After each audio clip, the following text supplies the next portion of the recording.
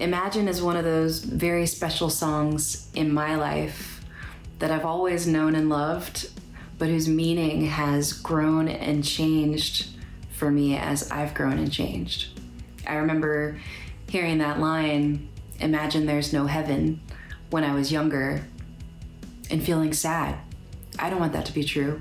I want to know that the people that I've lost, the people that I'm gonna lose, are there waiting for me in the end. But I don't hear it that way now. I hear him saying, Imagine this is it. Let's live life like there's no tomorrow, for right now, for each other, not for some future paradise. Let's make this paradise. It's so beautiful and so true and so wise. We are very lucky to have had and to still have John Lennon's spirit in this world. I started drawing pictures of John Lennon when I was a little boy in the 60s. I loved his voice, I loved his attitude. And so when I think of the song Imagine, you have to understand that John Lennon is one of my greatest inspirations. His music, his composition, who he was as a man, how he showed love to a woman, what he stood for, the great peace art movement that he and Yoko did. And I do try to emulate John Lennon because there's really, there's really not many people better in history. But I don't agree with the song Imagine entirely. It starts out with Imagine there's no heaven, and I, I can't imagine that. It's, it's impossible for me to imagine that there isn't a heaven or a hell. But after that, the song picks up steam and goes right to the top of the mountain. Hey, everybody, I'm Lzzy Hale from the band Halestorm and AXS TV's A Year in Music. Now, I've always thought of John Lennon's Imagine as part posing a question, part mission statement, and part instruction manual for how we're actually supposed to exist as human beings toward each other.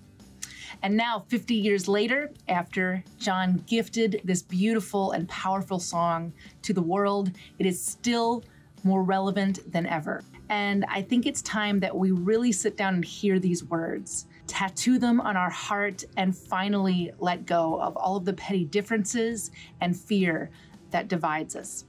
We miss you, John. Peace and love.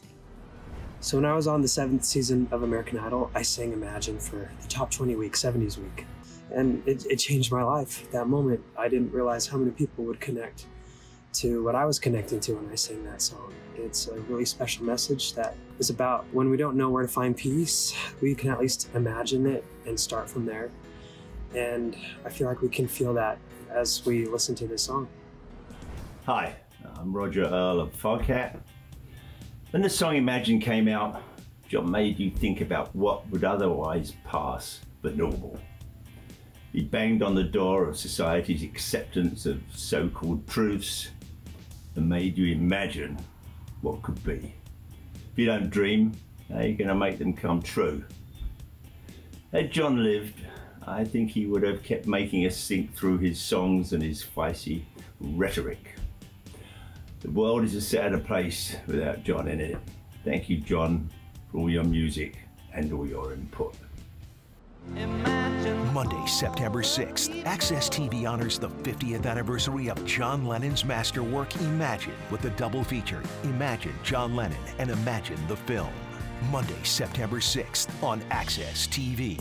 Hey there! Thanks for watching AXS TV. Subscribe, follow, like, and do all the good stuff. And make sure you leave a comment below. I don't know, just let us know what your favorite AXS TV show is, or who your favorite bands are, and what artists you're into, or just say hi, man. I'd like to be told hi. We love hearing from you. That's the point, all right? Keep it coming.